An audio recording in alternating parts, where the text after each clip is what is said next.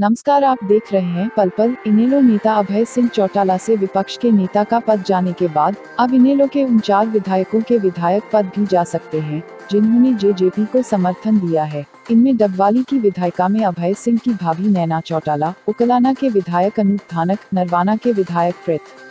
सिंह नंबरदार तथा भिवानी ज़िले के विधायक राजदीप फोगाट शामिल है। पिछले फोर महीनों से जारी इस राजनीतिक ड्रामे के बावजूद इनेलो ने अपने विरोधी विधायकों के विरुद्ध कार्रवाई करने के लिए विधानसभा स्पीकर को नहीं लिखा था, मगर अब जैसे ही दो विधायक भाजपा में गए, वह विपक्ष के नेता पद का पद भी गया, उससे दो दिन पूर्व अभय सिंह चौटाला ने विधानसभा स्पीकर को चारों विधायकों की सदस्यता समाप्त करने के लिए लिखा, जिस पर विधानसभा स्पीकर ने चारों विधायकों को नोटिस जारी कर दिया है। इन विधायकों को दलबदल अधिनियम के अंतर्गत उनकी विधानसभा की सदस्यता समाप्त की जा सकती है। सुने विधानसभा स्पीकर ने क्या कहा?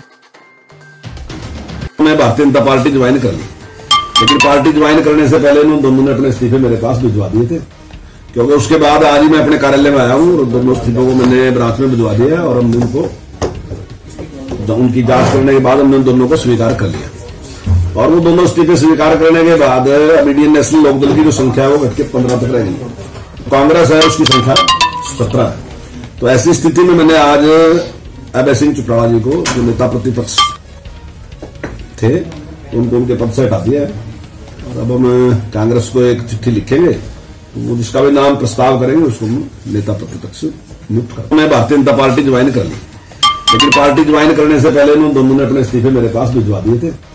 क्योंकि उसके बाद आज ही मैं अपने कार्यालय में आया हूँ और दोनों इस्तीफों को मैंने ब्रांच में भिजवा दिया और हमने उनको उनकी जाँच करने के बाद हमने दोनों को स्वीकार कर लिया। और वो दोनों इस्तीफे स्वीकार करने के बाद अब इंडियन नेशनल लोकदल की जो संख्या है वो घट के पंद्रह तक रह गई कांग्रेस है, उसकी संख्या सत्रह है। तो ऐसी स्थिति में मैंने आज अभय सिंह चुपड़ा जी को जो नेता प्रतिपक्ष थे, उनको उनके पद से हटा दिया है। और अब हम कांग्रेस को एक चिट्ठी लिखेंगे, वो जिसका भी नाम प्रस्ताव करेंगे, उसको हम नेता प्रतिपक्ष नियुक्त कर